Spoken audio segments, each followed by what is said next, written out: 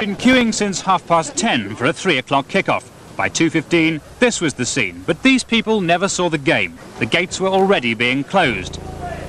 If you didn't have a ticket, you could go home. The lucky ones joined a crowd of 36,000, Yorkshire's biggest of the season, also the second division's biggest.